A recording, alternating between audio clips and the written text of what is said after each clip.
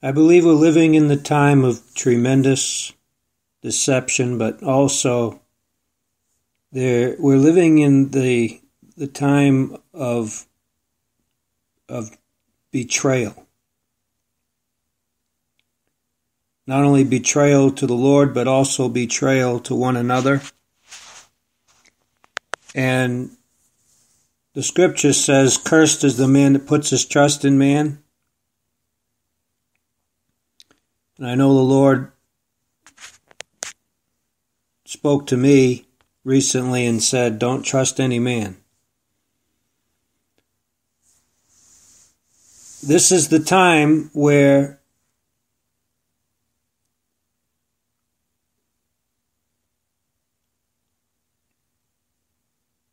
the discernment, where, the, where there's a need for discernment,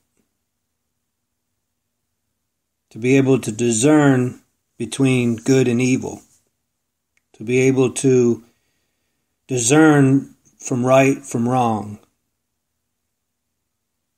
And we can see in the scripture this comes right down to a kiss.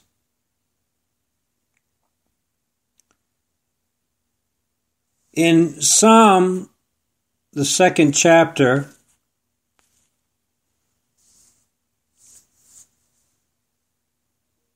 it says in verse 12 Kiss the Son, lest he be angry, and you perish from the way, when his wrath is kindled but a little. Blessed are all they that put their trust in him. Kiss the Son, lest he be angry, and you perish from the way. Now we know that Judas kissed the Son, right? He kissed Jesus.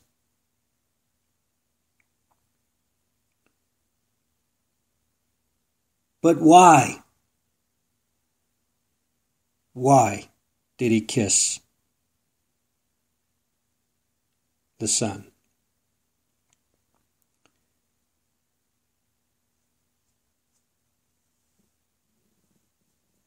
When he did kiss the Son, even though his motive was wrong, even though it was a plot and a conspiracy against the Son of God Himself,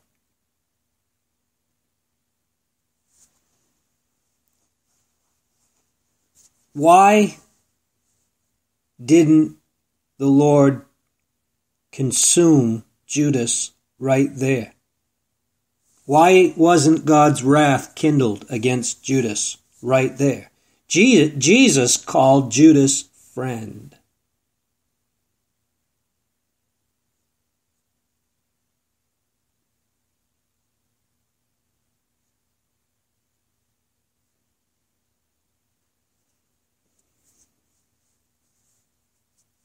God is love. But what was the motive? That's what this is all coming down to. The discernment of truth. I do believe the Lord has a few in the land that can discern between the real and the fake.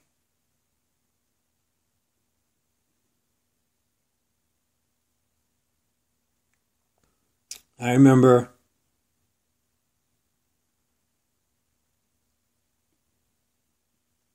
the Lord challenging me as I was praying over my meal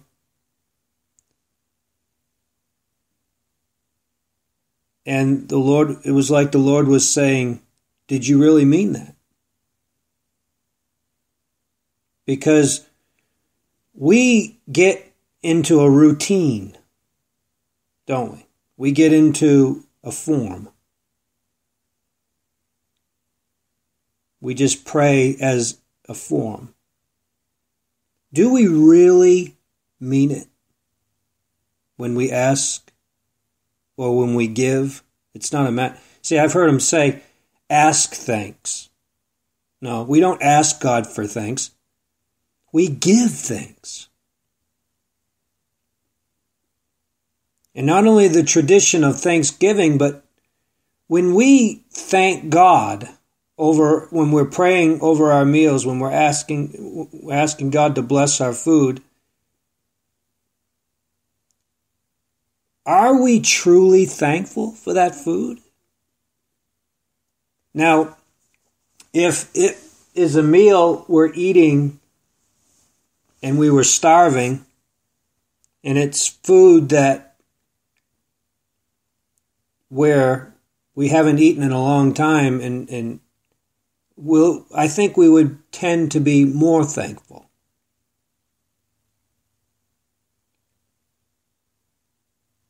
But truly, when you ask the Lord to bless your food, when you pray over your food and you give thanks for your food, do you really mean it?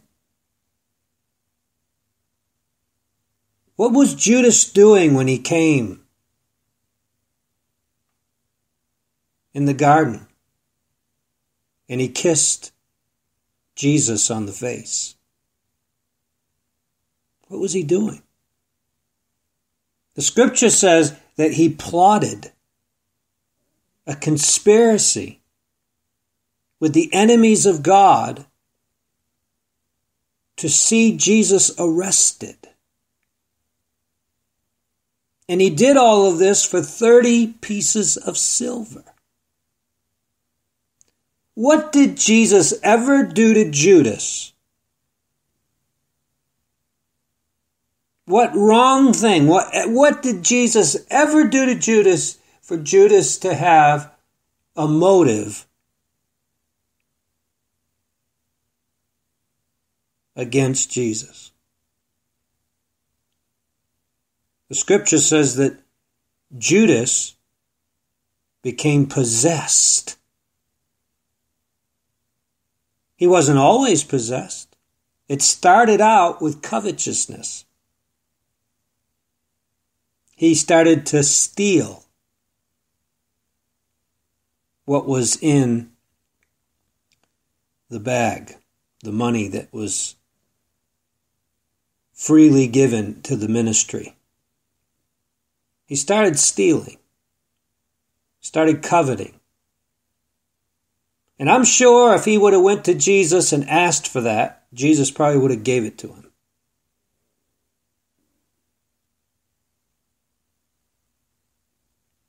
Without question, Jesus would have gave it to him. And if he didn't give it to him, it was because there was good reason why he didn't give it to him. How many times today we ask God for something and we don't get the answer right away? It might be that God doesn't want you to have it. But Judas took it upon himself to steal. And this was just as serious, if not as serious, as stealing from the treasury from King David.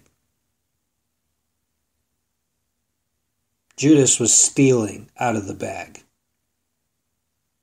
This was the treasury. This was the kingdom of God. He wasn't stealing from man, he was stealing from God's kingdom.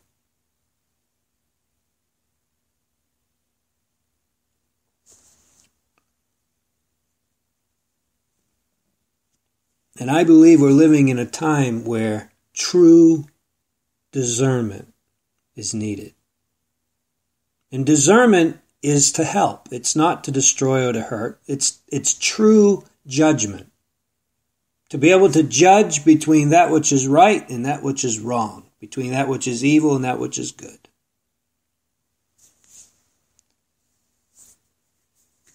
And I believe the Lord has a few in the land that he is entrusting with that judgment. The judgment is right judgment.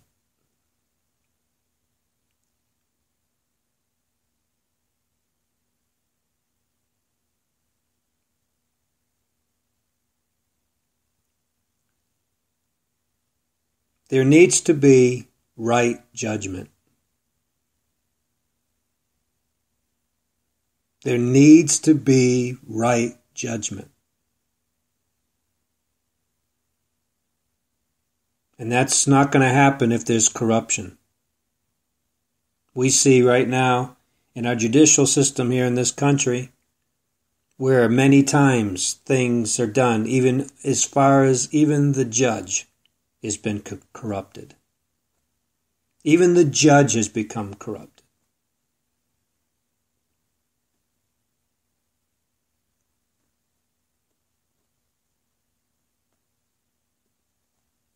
There are things that are being passed in our country right now, laws being passed that are not constitutional. They are not legal because of corruption. A lot of money changing hands. Filthy money that's being laundered they might think it's clean, but in the eyes of God, it's filthy lucre. It's filthy. This is going on in the church. They think because they uh, they write a book, they think somehow that they've laundered that money because they're making their, their riches or their wealth off of writing books about Jesus they think it's become laundered. No, you haven't laundered that. God knows your motive. All these ministries today that are writing books and making millions of dollars off their books, they're doing it with the name of Christ.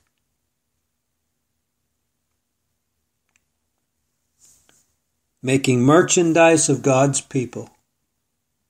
God's not going to hold them guiltless. They might think they're getting away with it, but they've turned, Jesus said, You've turned my Father's house into a den of thieves and robbers. It's to be a house of worship, house of prayer.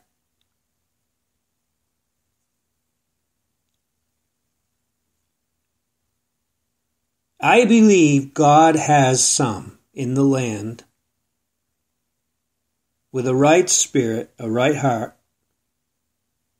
that does not get their judgment from their own understanding, but they get their judgment from the Lord. Jesus said, As I hear, I judge. That's wisdom. Jesus did nothing of himself. He said, What I hear, I judge. I do nothing except what I see the Father doing. He said, My judgment is just, it is right judgment, it is true judgment, because I don't seek my own glory. There's a need today for right judgment. Amen? right judgment.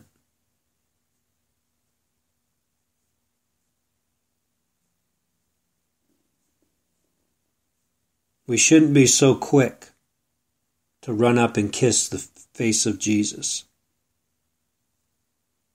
Listen to what the verse of Scripture is before this verse.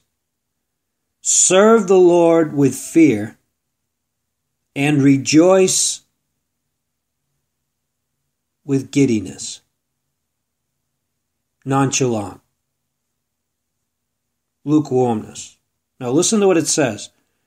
Serve the Lord with fear and rejoice with trembling. Is that how we rejoice in the church today? With trembling?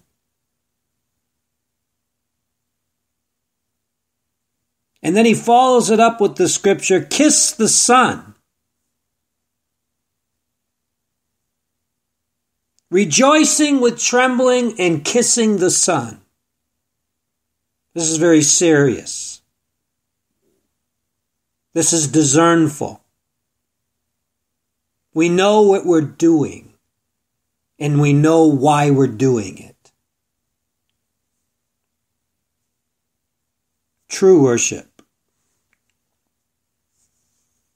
from true discernment.